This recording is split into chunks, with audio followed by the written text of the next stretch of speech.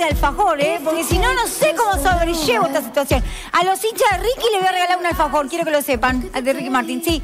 Y a ustedes decirles bienvenidos a esta cocina para preparar hoy los clásicos, más clásicos que estos alfajorcitos no hay, ¿eh?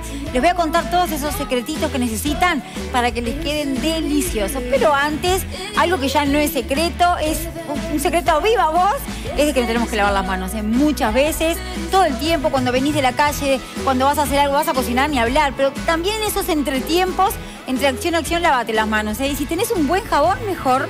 Nosotros contamos con Ecume, que es un jabón líquido, pero que sale en espuma. Y eso ya le da un toque muy suave protege, limpia y además perfuma muy delicadamente tus manos. Así que después que te hayas lavado las manos, tomás coraje y decís sí. Hoy va a estar todo el fin de semana más feo, además te digo, te voy adelantando, tremenda receta de fin de semana esta. Voy a hacer los alfajorcitos de dulce de leche de la receta y así que te los presento. Presenta Tata. Proba nuestros productos frescos, sanos, ricos y al mejor precio.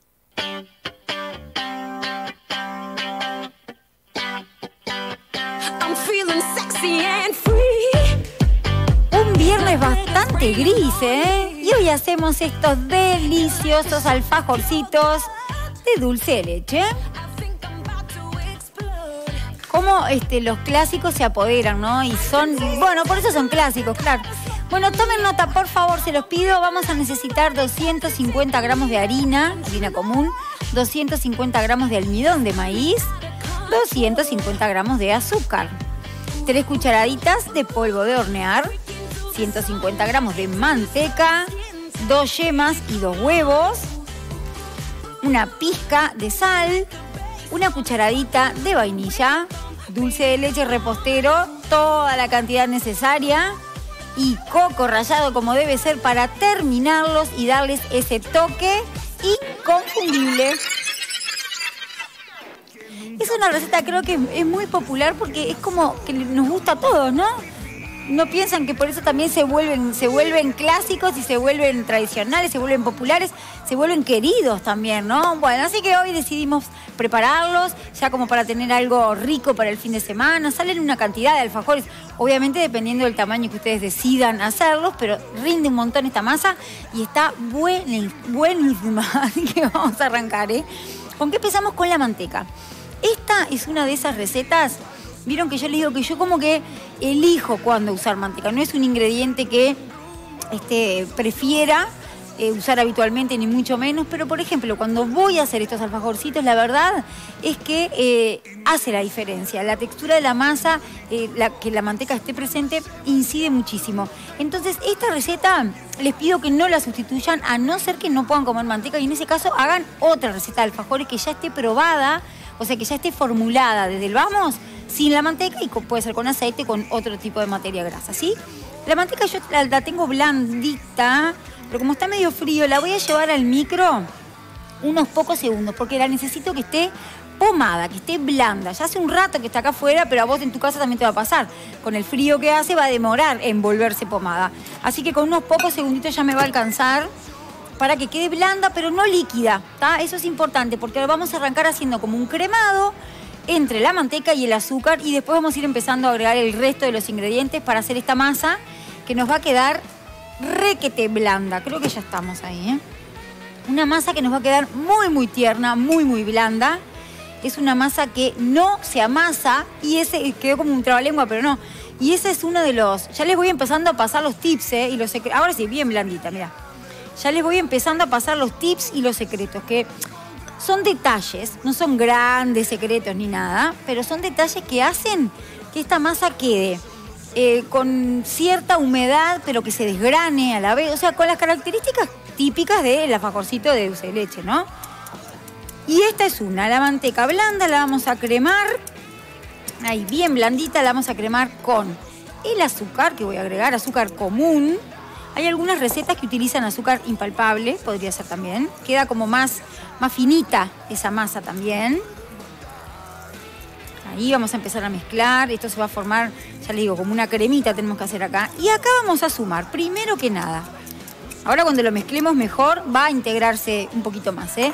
Primero que nada vamos a sumar una pizca, muy pizquita de sal y la vainilla que puede ser o no ser, o sea, es opcional. Otra cosa que le queda muy, pero muy bien a estos alfajorcitos es ralladura de algún cítrico. Y en ese caso lo agregan ahora. Pueden ser vainilla y ralladura, las dos cosas, ¿eh? ya sea naranja o limón. Las dos le quedan muy, pero muy bien estos alfajorcitos. ¿eh? Bueno, y mientras voy mezclando acá, te voy a pasar otro pique. Y es que vos, que te gusta cocinar con productos frescos, porque en definitiva esa es la clave ¿no? de, la cocina, de que las cosas queden bien, queden ricas. Bueno, acá en la receta preferimos tata porque es fresco, es rico, es sano y además tiene el precio más bajo garantizado. Así que, ¿qué estás esperando? Tata está bajando el costo de vida en Uruguay. Bueno, ahora sí, ¿eh? ¿ves que se va formando ahí como una cremita? Bueno, vas a mezclar cuando el, azúcar ya está como integrada, así como lo estás viendo acá, vamos a empezar a agregar los huevos y las yemas. Son dos huevos enteros y dos yemas. Y acá te paso otro pique. Es re importante que todos los ingredientes en esta receta, en esta y en cualquier receta que lleve así como tanta manteca, ¿no? Que estén a temperatura ambiente. ¿Está? porque eso va a facilitar que se integren mejor.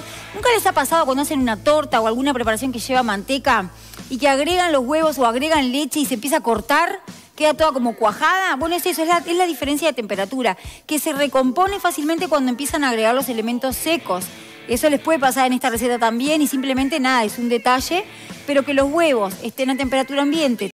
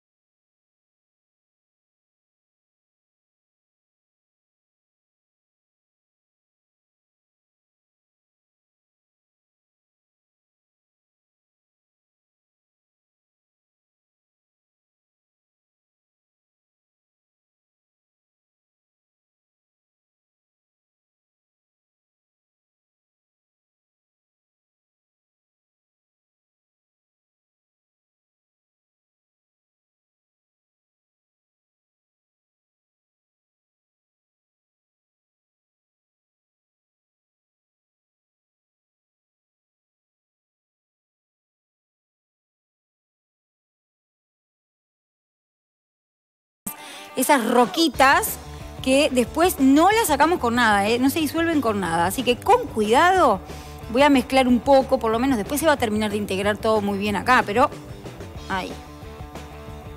Ahí mezclamos un poco y empezamos a agregar de a poco, pero más que nada es para no pasar tanto trabajo, porque si ustedes agregan todo esto de una, les van a estar una hora tratando de integrar y la verdad es que lo pueden hacer en tres veces, dos, tres veces y les va a ser mucho más sencillo.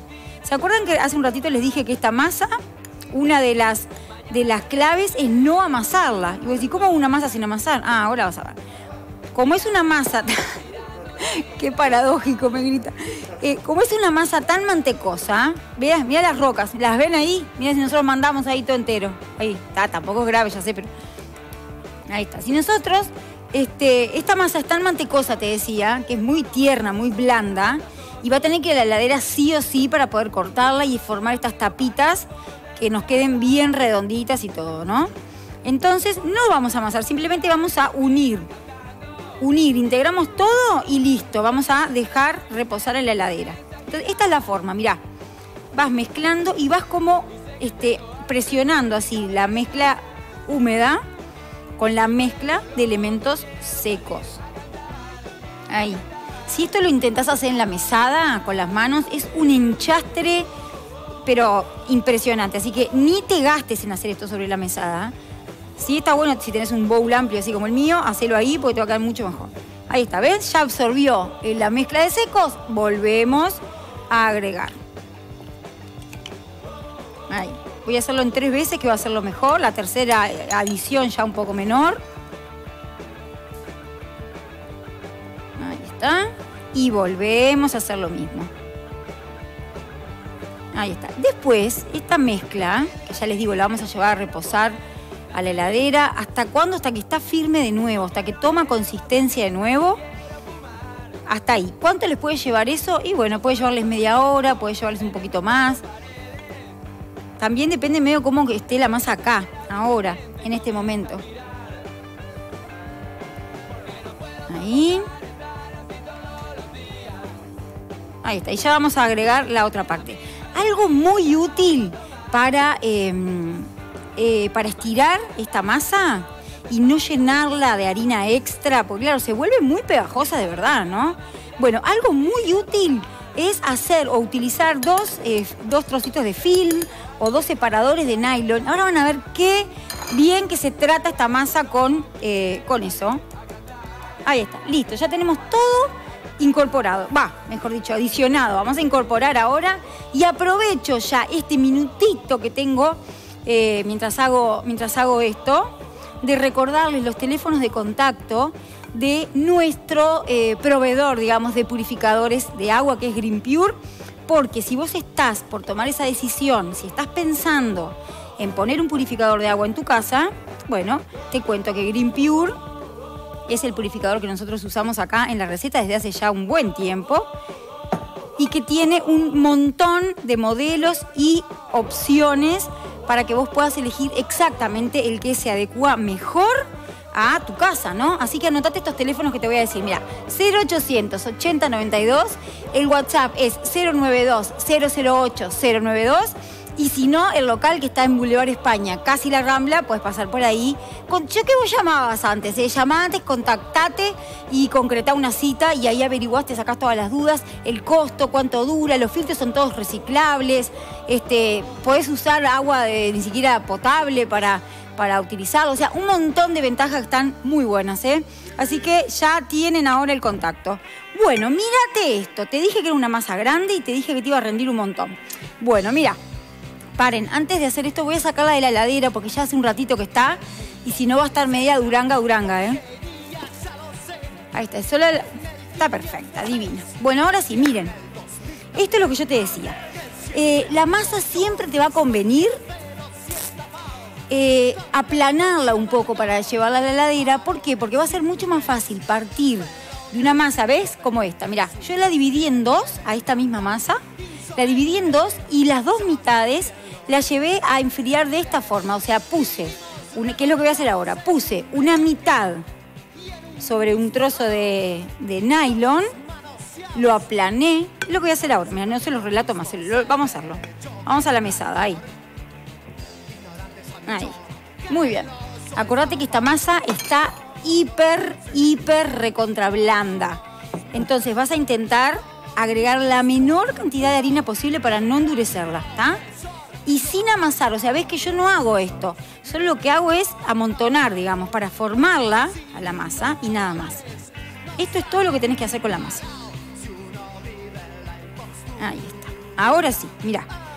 Lo de dividirla en dos en realidad es solo un detalle para un tema de practicidad para, para manipularla. Esto lo puedes hacer, si tenés una bandeja grande lo haces de una sola vez.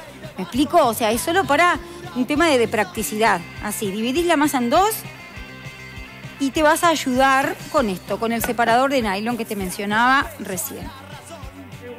Tiene que ir, para, eh, a la heladera sí o sí tiene que ir tapada la masa, ¿está? Porque si no se seca por fuera y queda como una cosita así media dura, una cascarita que no está buena. Ahí. Entonces, con el otro trozo de nylon, ahí haces esto, ¿ves? ¿Por qué la aplano? Para después poder estirarla más fácil. Si ustedes hacen un bollo, si una pelota la llevan a la heladera, también funciona. Pero después, para estirarla, tienen que toquetearla mucho más, ablandarla con las manos. Entonces, es mucho más fácil hacerlo así. Así. Listo, tengo una. Ya vamos con la otra y a otra cosa mariposa. Ahí está. Vamos a sumar ahí todos los, pegotitos. Este fin de semana dan lluvia para todo el fin de semana, así que. ¿Ya está lloviendo? ¡Ya! Pará, pónganse ya del alfajor. Ay, la ropa afuera pasa así. Ay, bueno, Gonza, ¿qué va a hacer? ¿Habías, lava- ¿Habías lavado mucha ropa? Bueno, tata, no te angusties. No hay que lavo. Por eso llovió, ¿viste? Bueno, está, ¿qué va a hacer? Está, no te angusties, no te angusties, está. Ya va a pasar, ya va a pasar. Bueno, listo. Estas masas se van a la heladera, no las voy a llevar, las voy a dejar acá. Y arrancamos con la fabricación de tapas de alfajores. Ahí está. Estos alfajores duran pila de días, además. Se mantienen muy bien. Bueno, si te aguantás, no comerlos, ¿no? Un cafecito, sí, un tecito, yo qué sé, cualquier, cualquier cosa. Bueno, mira, tengo la masa ya reposada y fría. Ahí está. Y esta masa, lo que yo te decía de utilizar los mismos trocitos de nylon que usaste para llevar a la heladera, dejarlos y utilizarlos para estirarla, ¿ves? ¿Qué pasa? ¿Te acordás que esta masa le hemos puesto manteca y ahora está fría? Entonces, obviamente esa manteca, que es la que le da la firmeza a la masa, si vos la tocas mucho con las manos para ablandarla, para amasarla, digo, la ablandás demasiado y otra vez volvemos al mismo, al mismo punto, ¿no? Que no queremos. Entonces, con paciencia, acá es paciencia, chicos, y un poquito de fuerza también. Mira, y vas a ir estirando. ¿Hasta cuándo? Tapas finitas no, porque el alfajor, no, el- este tipo de alfajor tiene tapa gordita, ya sabemos. Y crecen, eso mismo. Y, no, ¿cuánto por persona? Depende del resto de la alimentación del día, no. ¿Cuánto sos capaz de comer es una cosa? Ah, bueno, bueno. Facu, ¿cuánto es capaz de comerse de esto? La bandeja esa está bien, dice. y, ahí tiene como 12. Bueno, chiquilines, estiran la, masa. Acuérdense que yo tengo la mitad acá nada más, ¿eh? La estiran hasta tener más o menos medio centímetro. También va a ser mucho más sencillo hacer el corte cuando la masa está fría, ¿no? Y vamos a ir colocando las tapitas, los circulitos, en una bandeja, en una chapa para horno, que tenga una plaquita de silicona o, en su efecto, un papel enmantecado. ¿Está? Eso es lo que vamos a hacer. Traten, si tienen una asadera que sea antiadherente, directamente puede ir en la asadera antiadherente y no pasa nada. El tema es que cuando estas tapas van saliendo del horno, que se cocinan muy rápido, eh, las tenemos que dejar enfriar un poco antes de desmoldarlas, porque justamente son tan delicadas y llevan poco tiempo de horno. No las dejamos doradas, las dejamos cocidas a blanco, ¿no? Eh, entonces se nos rompen al toque si no las dejamos enfriar. Por eso van a necesitar por lo menos dos bandejas para ir haciendo eh, la cocción. Bueno, mira, ahora hablemos rápida, pero muy rápidamente del molde que van a usar. Mira este molde, ¿ves que vos lo ves así y decís, es chiquito? Alfajorcitos, no, crece impresionante. Pero no solo crece para arriba, crece para el costado también. Se expande, no, no es magia. Se expanden las tapitas, entonces, ojo, porque saben después qué pasa, quedan unos alfajorzotes así, que están bárbaros, pero se desperdicia un montón, porque capaz que son porciones demasiado grandes. Entonces, mira, esta tapita, que yo te digo que uno, tres, cuatro centímetros debe tener, A ver, tráelo. Cuatro centímetros, digo yo, que tiene más o menos. Está bien y quedan alfajorcitos grandecitos. ¿Ah? Cinco, sí, cuatro o cinco, por ahí. Bueno, con esto siempre enharinado el molde, vas a ir cortando tus tapitas. Siempre enharinado para que el corte quede limpito, perfecto. Así como mm, cincelado. Sí. Ahí. Muy bien. Y con cuidado, siempre tratando de no tocar la masa, ¿eh? lo menos posible, lo menos posible. Ahí, ahí llegó, ahí llegó el metro y lo vamos a medir. Y mide 5 centímetros efectivamente. Marcelo te pone el ojo, te pone la bala, mirá, 5 centímetros, no sé si lo ven ahí. Bueno, no importa, pero 5 centímetros. ¿Está? Con 5 tenemos unos alfajorcitos. Bien, interesantes, ¿eh? Ahora los van a ver, pero van a ver cómo crece también la tapita. Muy bien, el horno precalentado a 180 grados y los vas a cocinar hasta que estén eh, blanquitos. Se van a empezar como a cuartear la superficie, eso está muy bien, es así, es correcto pero no los dejas dorar. ¿Cuánto tiempo puede llegar a pasar entre eh, una cosa y otra? Seis minutos, siete, ocho como mucho, depende de tu horno, ¿no? Y cuánto lo hayas precalentado, pero no más de eso, ¿eh? No lo dejes dorar para que nos quede una tapa bien tiernita. Bueno, yo la voy, la voy a dejar por acá, porque tenemos mucho por hacer todavía, tenemos tremenda cantidad de alfajores para rellenar. Me llevo eso al horno. Me llevo eso al horno y me lavo y me lavo las manos. ¿Qué hace el señor Metro ahí? Ah, está midiendo de cuánto quedó el alfajor. Ah, quería, no, ahora, ahora, ahora, ahora, lo, ahora lo medimos. vamos a enjuagarnos las manos. Porque así ahora vamos con esta, ahora viene la serie esa de secretos o tips para que los alfajores resulten un éxito rotundo. Y voy a decir, pero ¿qué, tip, qué secreto puede haber ¿Qué secreto puede haber en armar un alfajor? Tapa abajo, tapa arriba, leche en el medio, ya está. Bueno, sí, es verdad. Pero mira, mira estas tapitas. A ver cuánto miden estas. Vení a ver. Paren que ahora yo aprieto el botón y entra el, entra el medio. Sí. Mira. Mirá, mirá el número. A ver. Esta mide 6 6, un centímetro crece de lado y está ahí para arriba. Perfecto, gracias. Muy bien. Bueno, chiquilines, miren. Esto ya lo sabe todo el mundo. Cómo se arma el alfajor, ya sabemos. Tapa y un buen relleno. ¿Qué tanto dulce de leche? Y bueno, mucho pero intermedio. No te puede pasar que hagas así, el dulce de leche salga por todos los costados. Horrible. Horrible. Entonces, para, importante, que el dulce de leche sea repostero es muy importante porque le va a dar consistencia y le va a dar firmeza también. Que armes los alfajores el día antes es la clave para que la tapita se vaya humedeciendo y muerdas y sea todo una cosa sola y no se te separen las partes, Entonces, los secretorios. Entonces, manga siempre ayuda porque te, te permite distribuir el dulce de leche parejo. Y le vas a poner una capa bien gordita, pero sin exagerar. Yo te diría, esto estaría bien. Pero sobre gusto, no hay nada escrito. Por eso, ¿qué hay que hacer? Entonces, ahí. ¿Está? Vamos a hacer dos o tres nada más y listo. Siempre asegúrate que tengas número par de tapas. Muy bien. Perfecto. Ahora, me voy a poner acá un poquito de dulce porque ahora te voy a mostrar lo que voy a hacer. Bueno, tenemos coco rallado, Vamos a cerrar las tapas, cerrar los alfajores, ¿va? Ahí está. Acomodas y luego esto que sobresale, esto ya te lo querés comer así, ya sé. No, no le pasas el dedo, mira. Mira, vas a agarrar un poquito de dulce de leche extra y vas a hacer un trabajo de reboque así por el costado. Mira, así, sin apretar mucho. Solo lo que querés hacer es embadurnar todo el costado. ¿Para qué? Claro, es como le hace una pared. Mira, ¿para qué? Para rodar. Para rodar y que te quede así.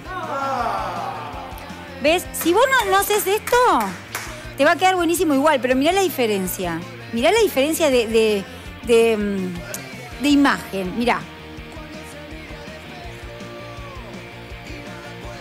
Mirá la diferencia de imagen. No. Entonces, a ver, si, te gusta así, lo haces así.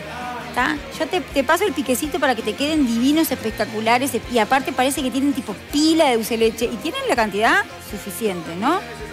La ajuste necesaria para generar un equilibrio agradable entre el dulce y la tapa. Esto es una cosa de locos. Te digo algo, alguna muy buena noticia. Las tapitas se pueden congelar, así las congelas eh, ya cocidas. Sí, sí, sí, sí. Y tenés alfajores cuando se te canta. Porque ya los tenés prontos ahí, las sacás, se descongelan al toque, las sacás del freezer y en un ratito ya están aptas para, para armar. O sea, tenés que esperar que estén 100% descongeladas. eh. Eso sí es muy importante. Vamos con esto. Y después, después de eso, no, no por eso, sino porque van a estar como heladas. Y después de eso sí, lo, armás los alfajorcitos y ya está. Tenés siempre alfajores caseros disponibles, como que es tremendo, ¿eh? Ah, bueno, ahora que vienen las meriendas de nuevo, podría ser una opción. Sí, igual hay opciones más saludables para mandar a la escuela, ¿no? Sí, vamos a tener en cuenta eso también. Bueno, paren, leemos la receta bien rapidito y les muestro cómo quedan esos alfajores. Así decimos. Dale. Bueno, van a necesitar, y esa torre de alfajores lo que es, 250 gramos de harina, 250 gramos de almidón de maíz, 250 gramos de azúcar, 3 cucharaditas de polvo de hornear, 150 gramos de manteca, 2 yemas, 2 huevos, una pizca de sal, una cucharadita de vainilla, dulce de leche repostero y coco rallado.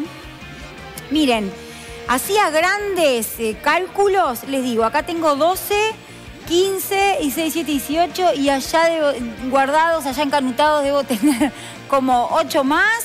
Sí, así que más o menos unos 25 alfajores de este tamañote le salen, ¿eh? Así que vos también tenés, sí. Bueno, eh, nos vamos, nos vamos, pero les recuerdo así brevemente cosas importantes.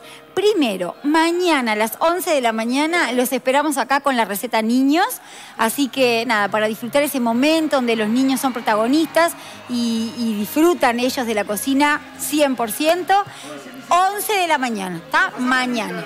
Después, estas recetas, yo les recuerdo que las tienen siempre disponibles en la web de nuestro canal www.tele12.com barra la receta. Están todos ahí, todos los programas. Pueden volver a verlo en YouTube. Si les quedó alguna duda, necesitan chequear algo, lo ven en la receta de YouTube. Arroba la receta 12, arroba la receta Ninos. Nos pueden seguir. Arroba Cata de Palleja también nos pueden seguir. Arroba Gonzalo Cairabú.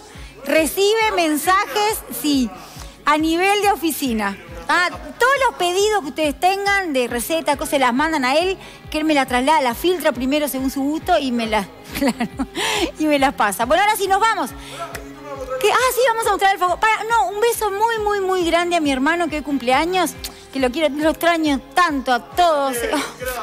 Un beso grandísimo a Seba, que sé que está pasando bien y sé que está pasando lindo, pero bueno, tal, lo extraño muchísimo. No, el jugador de futsal es el otro. El este es el gaucho, el gaucho herrero. Sí, es gaucho herrero, carpintero, albañil, de todo, todo.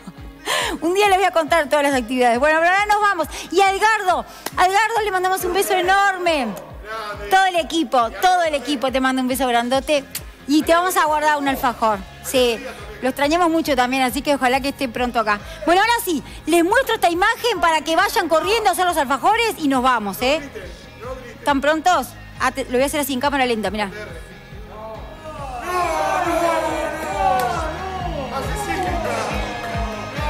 ¿Qué dicen ustedes? ¿Dará? ¿Valdrá la pena hacerlos? Bueno, ahora sí, ¿eh?